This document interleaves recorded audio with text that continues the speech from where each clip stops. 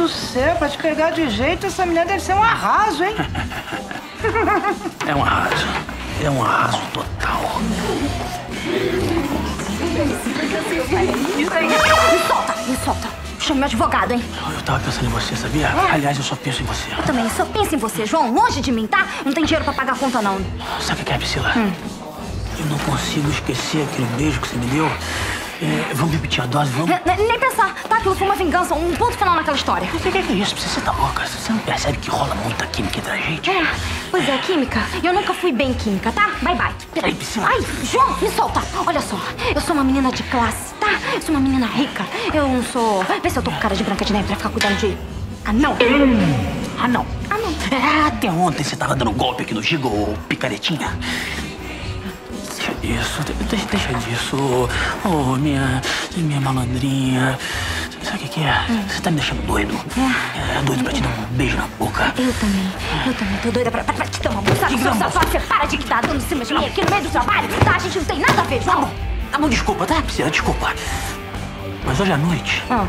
na festa fantasia, se prepara. Porque eu vou te beijar.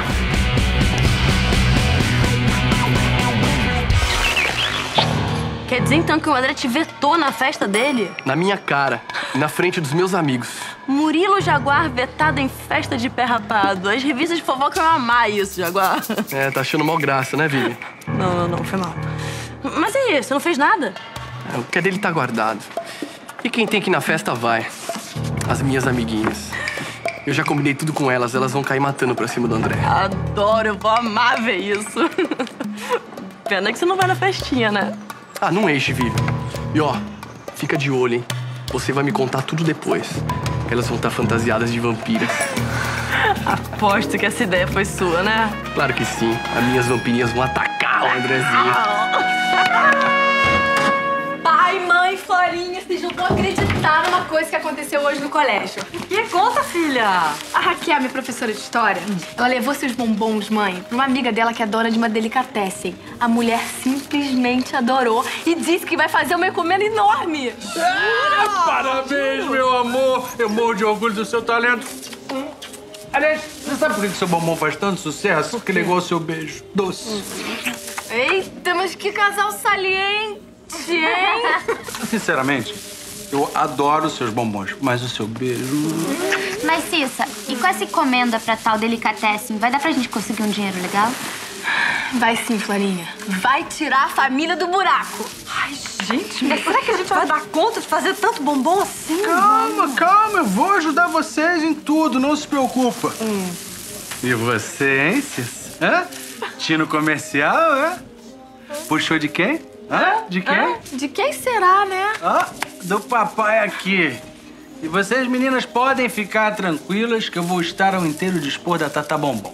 E sabe o que que eu vou fazer agora? O quê, paizinho? Pesquisa de mercado.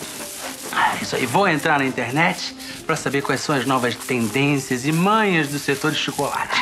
Sabe o quê? Vou fazer agora. Só seu naninho mesmo. Ah, mãe, mais uma coisa. A dona da Delicatessen, ela quer fazer uma degustação antes de comprar.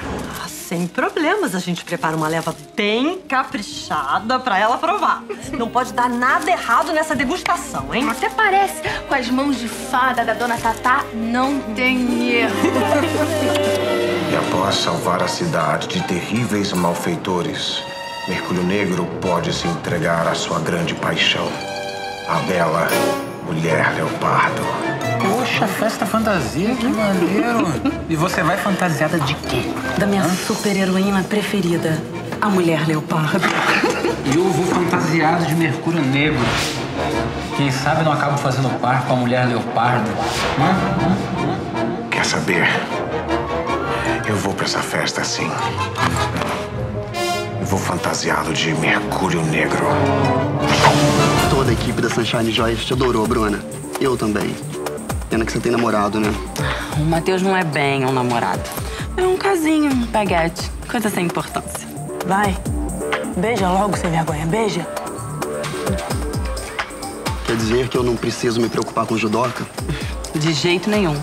O Matheus não é um empecilho pra gente ficar junto.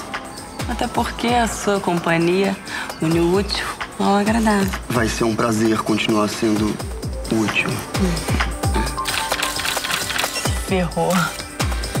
Ferrou, ordinária.